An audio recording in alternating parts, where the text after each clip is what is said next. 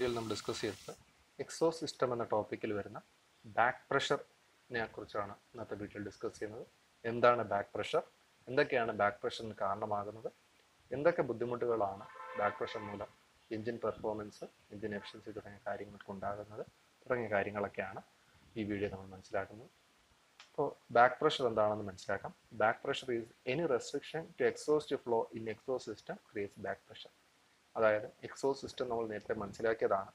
എക്സോ system എന്നാൽ എഞ്ചിന്റെ ഉള്ളിൽ ഉൽപ്പാദിക്കപ്പെടുന്ന സിലിണ്ടറിൽ ഉൽപ്പാദിക്കപ്പെടുന്ന എക്സോസ്റ്റ് ഗ്യാസിനെ അന്തരീക്ഷത്തിലേക്ക് എത്തിക്കുന്നതിന് വേണ്ടിയിട്ടുള്ള സംവിധാനത്തെയാണ് എക്സോ സിസ്റ്റം എന്നുകൊണ്ട് ഉദ്ദേശിക്കുന്നത്.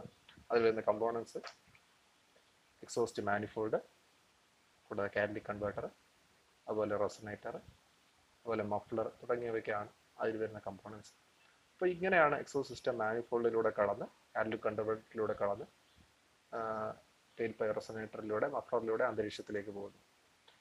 അപ്പോൾ ഈ പോകുന്ന പാസേജിൽ ഉണ്ടാകുന്ന ഏതെങ്കിലും തരത്തിലുള്ള ഒരു റെസ്ട്രിക്ഷൻ ഉണ്ടാകുന്ന ഒരു തടസ്സം ഈ പോകുന്ന പാസേജ് ഉദാഹരണത്തിന് ഇപ്പോൾ മഫ്ലറിൽ അല്ലെങ്കിൽ കാറ്റലിക് കൺവേർട്ടറിന്റെ ഭാഗങ്ങളിലൊക്കെ ഏതെങ്കിലും തരത്തിലുള്ള തടസ്സം ഉണ്ടാവുകയാണെന്നുണ്ടെങ്കിൽ ഈ എക്സോസ്റ്റ് ഗ്യാസിന് സുഗമമായ തരത്തിൽ അന്തരീക്ഷത്തിലേക്ക് പോകാൻ സാധിക്കുന്നില്ല ഈ തടസ്സം മൂലം എക്സോസ്റ്റ് ഗ്യാസ് പുറത്തേക്ക് പോകുന്ന എക്സോസ്റ്റ് ഗ്യാസ് തിരിച്ച് ഇങ്ങോട്ടേക്ക് എക്സോസ്റ്റ് എക്സോസ്റ്റ് മാനിഫോൾഡിന്റെ ഭാഗത്തേക്ക് ഉണ്ട് പ്രഷർ ചെയ്ത് പ്രഷറിന്റെ ഫലമായിട്ട് ഇങ്ങോട്ടേക്ക് വരാനുള്ള സാധ്യതയുണ്ട്. ഇതിനെയാണ് ബാക്ക് പ്രഷർ എന്നുകൊണ്ട് ഉദ്ദേശിക്കുന്നത്.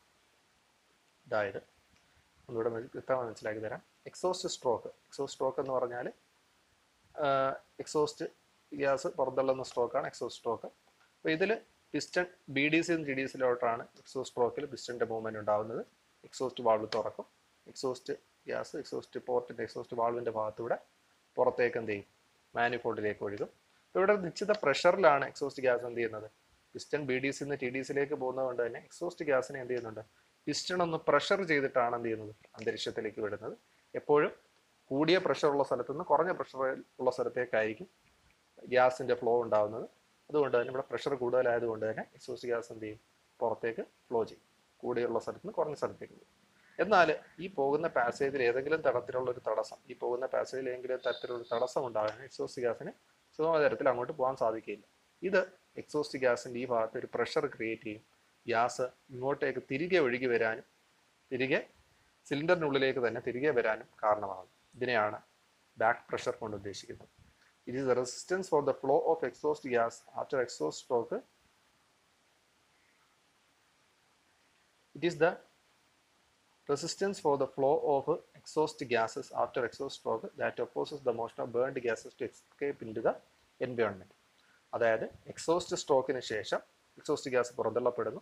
ഈ പോകുന്ന പാസേജിൽ ഉണ്ടാകുന്ന ഏതെങ്കിലും തരത്തിലുള്ള തടസ്സം റെസിസ്റ്റൻസിനെയാണ് നമ്മൾ അതാണ് എക്സ് ബാക്ക് പ്രഷർ ഉണ്ടാവാൻ കാരണമാകുന്നത് ഇങ്ങനെ ബാക്ക് പ്രഷർ ഉണ്ടാകുന്നത് എക്സോസ്റ്റ് ഗ്യാസിന് സുഗമമായ അന്തരീക്ഷത്തിലേക്കുള്ള ഫ്ലോയ്ക്ക് തടസ്സമാകുന്നു.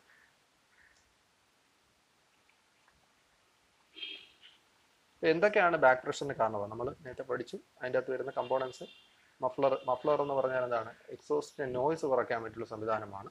എന്നാൽ മഫ്ലറിനുള്ളിൽ ബാബിൾസ് ഒക്കെ കൊടുത്തിട്ടുണ്ട്. ഈ ബാബിൾസ് ഒക്കെ എന്ത് ചെയ്യും? എക്സോസ്റ്റ് ഗ്യാസിനെ സുഗമമായിട്ട് പുറന്തള്ളുന്നതിന് എക്സ അന്തരീക്ഷത്തിലേക്ക് പുറന്തള്ളുന്നതിന് ഒരു തടസ്സമാകുന്ന ഒരു ഘടകമാണ് മഫ്ലർ അതുകൂടാതെ ടർബോ ചാർജർ ടർബോ ചാർജർ നമ്മൾ പഠിച്ചാണ് ടർബോ ചാർജർ എക്സോസ്റ്റ് ഗ്യാസിന്റെ വെലോസിറ്റി ഉപയോഗപ്പെടുത്തിക്കൊണ്ട് ഇൻലെറ്റിലേക്ക് പ്രഷർ ചെയ്ത് എയറിനെ കടത്തിവിടുന്ന ഒരു സംവിധാനമാണ് ടർബോ ചാർജർ. അപ്പോൾ എക്സോസ്റ്റ് ഗ്യാസിന്റെ വെലോസിറ്റി ഉപയോഗപ്പെടുത്തുക എന്ന് പറഞ്ഞാൽ എക്സോസ്റ്റ് ഗ്യാസിന്റെ പാസേജിൽ അതിന്റെ വഴിയിലായിട്ട് എന്താണ് ഒരു തടസ്സം സൃഷ്ടിക്കുകയാണ് ചെയ്യുന്നത്. ഈ തടസ്സം മൂലം എന്ത് സംഭവിക്കാം? ബാക്ക് പ്രഷറിന്റെ അളവിൽ വ്യത്യാസം ഉണ്ടാകാം. മറ്റൊന്ന് കാറ്റലിറ്റിക് കൺവേർട്ടർ. കാറ്റലിറ്റിക് കൺവേർട്ടർ എന്ന് പറഞ്ഞാൽ നമ്മൾ പഠിച്ചതാണ് അതായത് ഹൈഡ്രോ കാർബൺ നോക്സ് അതുപോലെ കാർബൺ മോണോക്സൈഡ് എമിഷനെ കുറയ്ക്കാൻ വേണ്ടിയിട്ടുള്ള സംവിധാനമാണ് കാറ്റലിക് കൺവേർട്ടർ. ഇവിടെ എക്സോസ്റ്റ് ഗ്യാസ് വളരെ ചെറിയ സുഷിരങ്ങളിലൂടെയാണ് അതായത് ഹണി കോംബ് സ്ട്രക്ചറിലൂടെയാണ് കടന്നു പോകുന്നത്. തേനീച്ചക്കൂടിനുള്ളിൽ മാതൃകയിലുള്ള വളരെ ചെറിയ സ്ട്രക്ചറിലൂടെയാണ് സിറാമിക് സ്ട്രക്ചറിനുള്ളിലൂടെയാണ് എക്സോസ്റ്റ് ഗ്യാസ് കടന്നു പോകേണ്ടി വരുന്നത്. ഇങ്ങനെ വളരെ ചെറിയ സുഷിരങ്ങളിലൂടെ കടന്നു പോകുമ്പോൾ എക്സോസ്റ്റ് ഗ്യാസിന് സുഗമമായ തരത്തിൽ പുറത്തേക്ക് ഒഴുകാൻ സാധിക്കുകയില്ല. ഇത് ബാക്ക് പ്രഷർ ക്രിയേറ്റ് ചെയ്യുന്നതിന് മറ്റൊരു ഘടകമാണ്. മറ്റൊന്നാണ് ടൈൽ പൈപ്പ് ഡയമീറ്റർ പുറത്തേക്ക് പോകുന്ന ടൈൽ പൈപ്പിന്റെ ഡയമീറ്റർ എക്സോസ്റ്റ് ഗ്യാസിനെ പുറത്തേക്ക് പോകുന്നതിന് സ്വാധീനിക്കുന്ന ഒരു ഘടകമാണ്. ടീൽ പൈപ്പ് ഡയമീറ്റർ കുറഞ്ഞിരുന്നു കഴിഞ്ഞാൽ അത് ബാക്ക് പ്രഷർ കൂടുന്നതിന് കാരണമാവും. ടീൽ പൈപ്പ് ഡയമീറ്റർ ഒരുപാട് കൂടിക്കഴിഞ്ഞാൽ ബാക്ക് പ്രഷർ വളരെ കുറഞ്ഞു അപ്പോൾ നമുക്ക് നിശ്ചിത അളവിലുള്ള ഒരു ബാക്ക് പ്രഷർ എപ്പോഴും ആവശ്യമാണ്. തീരെ കുറയാനും പാടില്ല. തീരെ ഒരുപാട് കൂടാനും പാടില്ല. കൂടുന്നതാണ് കുറയുന്നതിനേക്കാൾ കൂടുതൽ പ്രശ്നങ്ങൾ ഉണ്ടാക്കുന്നത്. ടെയിൽ പൈപ്പ് ഡയമീറ്റർ ബാക്ക് പ്രഷറിനെ സ്വാധീനിക്കുന്ന ഒരു ഘടകമാണ്. മറ്റൊന്ന് inner surface of tail pipe tail പൈപ്പിന്റെ ഉള്ളിലുള്ള പ്രതലം ഏത് തരത്തിലുള്ളതാണ്?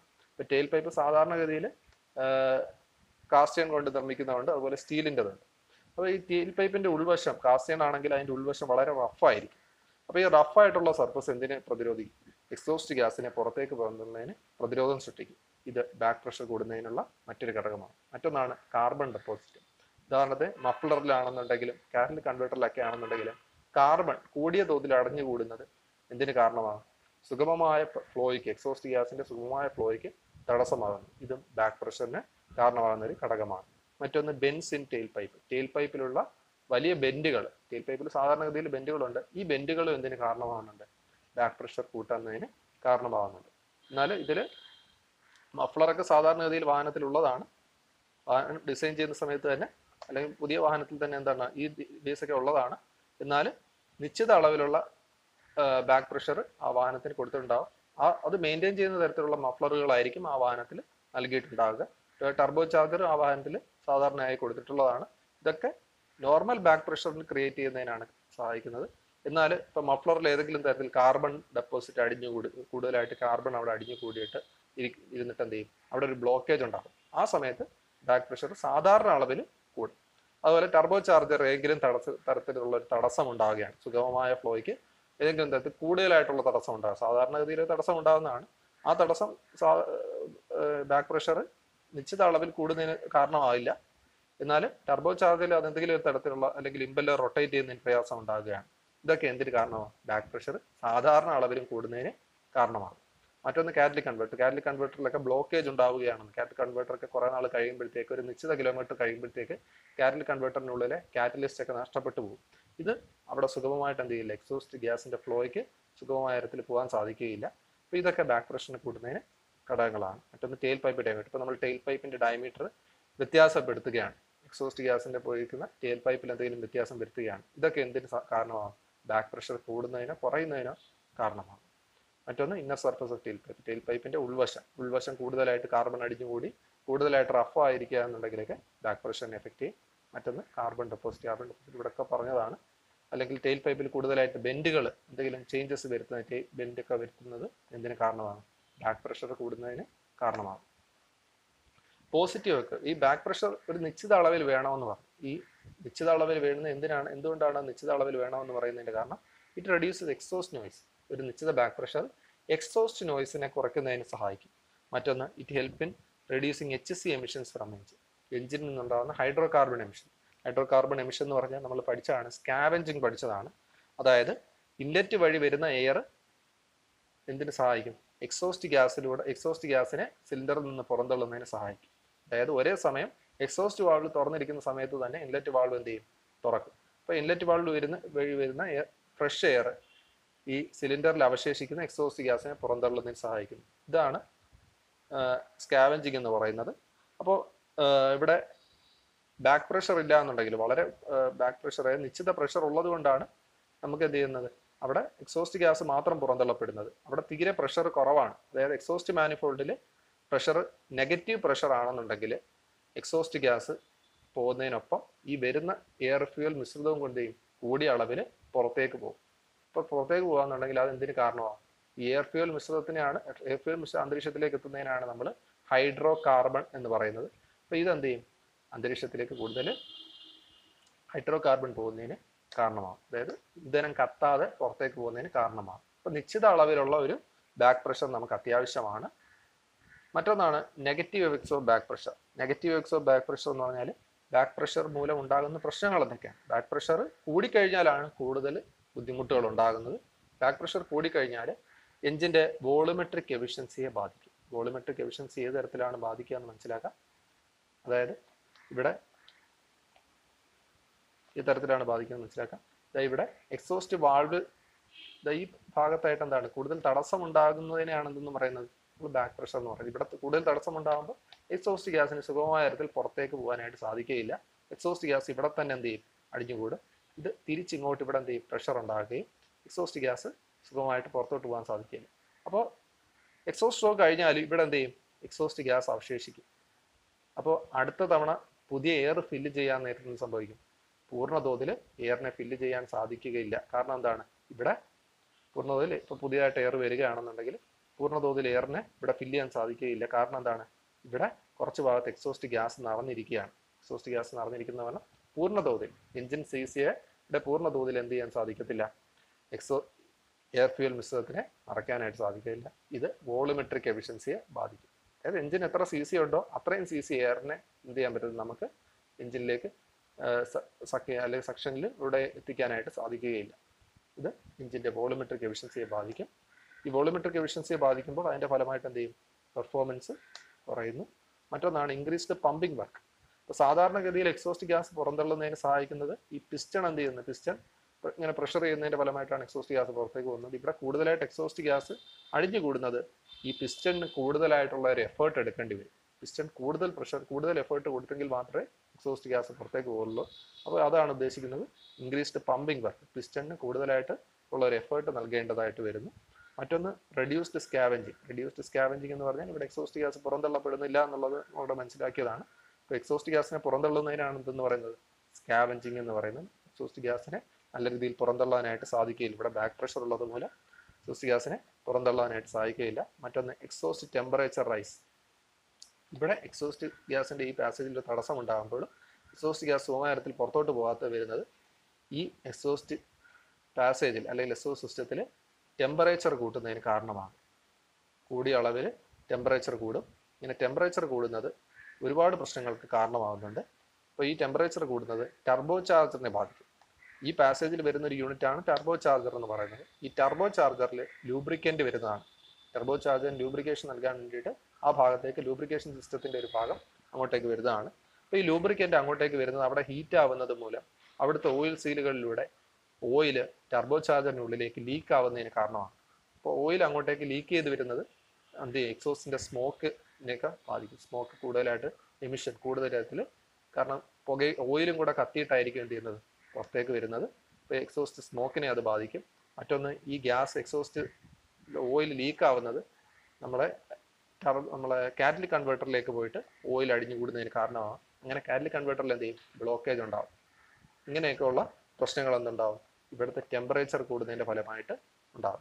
മറ്റൊന്ന് ഫ്യൂൽ കൺസംഷൻ കൂടും. ഫ്യൂൽ കൺസംഷൻ എന്ന് പറഞ്ഞാൽ ഇവിടെ എക്സോസ്റ്റ് ഗ്യാസ് സുഗമമായ തരത്തിൽ പുറത്തോട്ട് പോകുന്നില്ല ഇവിടെ എപ്പോഴും എന്ത് ചെയ്യും? കുറച്ച് എക്സോസ്റ്റ് ഗ്യാസ് നിലനിൽക്കും. അപ്പോൾ എഞ്ചിന് പവർ ഉൽപ്പാദിപ്പിക്കാനായിട്ട് കൂടുതൽ അളവിൽ എന്ത് ചെയ്യേണ്ടി വരും? ഫ്യൂവലിനെ സപ്ലൈ ചെയ്യേണ്ടതായിട്ട് വരും. അങ്ങനെ എന്ത് ചെയ്യും? കൂടുതൽ കൂടുതൽ ഫ്യൂൽ കൺസംഷൻ കൂടും. കാരണം ആവശ്യത്തിനുള്ള എയർ എന്ത് ചെയ്യുന്നില്ല?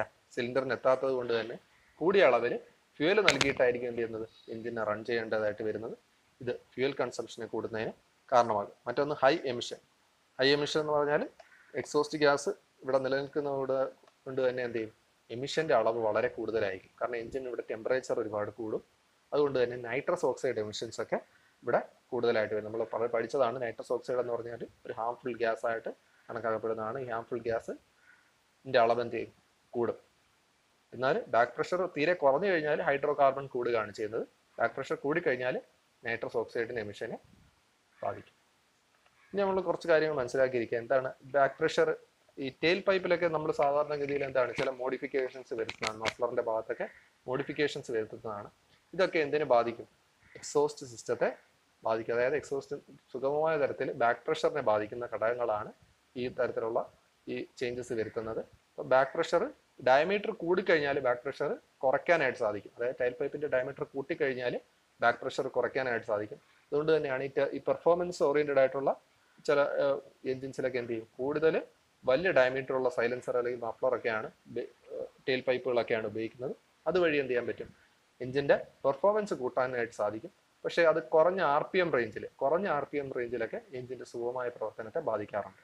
കൂടിയ ആർ പി എമ്മിൽ നല്ല രീതിയിൽ എഞ്ചിന് കൂടുതൽ പവർ കിട്ടും. എന്നാൽ കുറഞ്ഞ ആർ പി എമ്മിൽ അത് ദോഷകരമായിട്ട് ബാധിക്കാറുണ്ട്. കൂടാതെ ടെയിൽ പൈപ്പിന്റെ ഡയമീറ്റർ കുറയ്ക്കുകയാണെന്നുണ്ടെങ്കിൽ ടെയിൽ പൈപ്പിന്റെ ഡയമീറ്റർ ഏതെങ്കിലും തരത്തിൽ കുറയ്ക്കുകയാണെന്നുണ്ടെങ്കിൽ അത് എക്സോസ്റ്റ് ഗ്യാസിന്റെ പ്രഷർ കൂട്ടും. ബാക്ക് പ്രഷർ കൂട്ടിക്കഴിഞ്ഞാൽ കൂടുതൽ പ്രശ്നം ഉണ്ടാകുന്നത് കുറയ്ക്കുകയാണെന്നുണ്ടെങ്കിൽ അത് കൂടുതൽ പ്രശ്നം ഉണ്ടാകും ഡയമീറ്റർ കൂട്ടിയാൽ എഞ്ചിൻ പെർഫോമൻസിന് അത് നല്ല രീതിയിൽ എഫക്ട് ചെയ്യും. എന്നാൽ ആർ പി എം അനുസരിച്ചിട്ട് ഒരു നിശ്ചിത ആർ പി എമ്മിലാണ് നല്ല രീതിയിൽ വർക്ക് ചെയ്യുക.